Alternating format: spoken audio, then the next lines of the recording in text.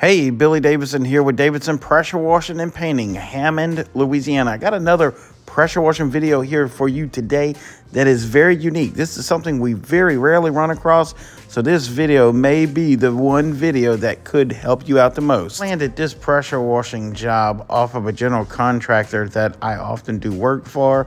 If you want to learn more about how to get some of these pressure washing jobs, check out the link in the description. The general contractor requested us to clean this house from all this dust and contaminants that are on the home because they needed to do some touch up paint.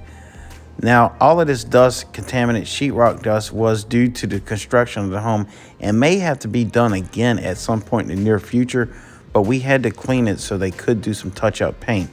As soon as we seen this house, we knew that we could not use our pressure washer or sodium hypochlorite. Due to the organic nature of the exterior paint on this particular home, sodium hypochlorite would definitely bleach this out instantly and high pressure also could leave streaks in it because the paint was not fully aged past 30 days. In this particular application to clean the exterior of the house, we had to resort to soft bristle brushes and a lubricating surfactant I'll also put some information down in the description below that will show you exactly how to price some of these more challenging cleaning jobs. The basic technique is to pre-soak or pre-wet the exterior of the home before touching it with a brush. Don't let it dry and then apply a liberal amount of lubricating surfactant to your brush and softly scrub the house from top to bottom and rinse it very well afterwards. Make sure you don't use no more pressure that you would use on a brand new car.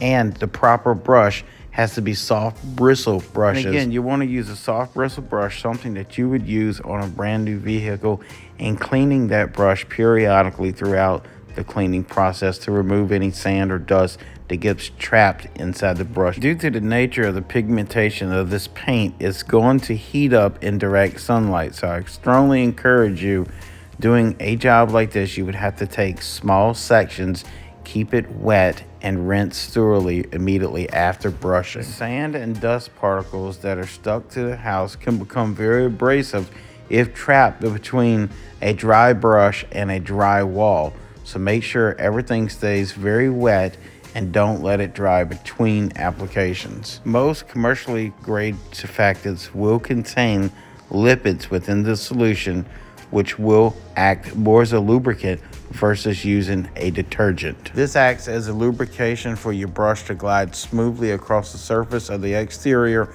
of the house. In addition, it does assist in dislodging dust and sand particles from the surface. As I mentioned in the beginning of this video, it's strongly advised not to use sodium hypochlorite or high pressure when dealing with organic paint. If you're not 100% sure, you can always do a test spot in a small area that can't be readily seen. Be aware that there are organic paints on the market currently that cannot withstand any amount of sodium hypochlorite. With these types of exterior paints, you will have to hand brush and use surfactants to clean the exterior properly. Therefore, this is a significant upcharge to the customer. And don't forget to check out the description down below this video for some pricing information on this type of hand scrubbing work. As a pressure washing contractor, I encourage you to build relationships with general contractors in your area. Having relationships with general contractors can net you dozens of jobs more each year.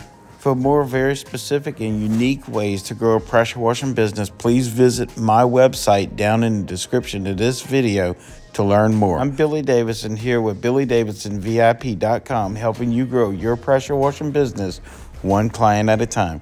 We hope to see you in the next video.